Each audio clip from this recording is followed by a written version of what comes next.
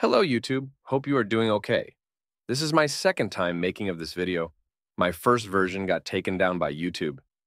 Stick around to see why they took down my video as I show you how to download YouTube videos. Let's get started. Open your YouTube app and search for the video you are going to download. For this example, I will download a video on my channel. So as you can see, I am in my channel. I will now try and download my second recent video. Kindly subscribe to my channel if you haven't yet. After opening the video, you will click on the three dots that is beside the share button. After clicking on it, a menu will appear with a download button at top. The download options will appear. Unfortunately, you can't download a video of 720 or 1080 quality if you are not a premium member of YouTube. The reason YouTube took down my video is because I posted a video on how to download videos of up to 4K quality for free. Guys, I have started a Patreon where I post my early access content and exclusive videos.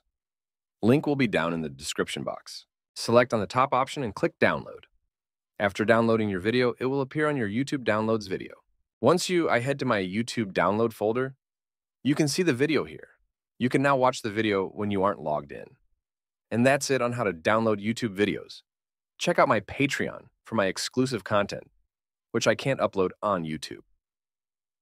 Link will be in the description box.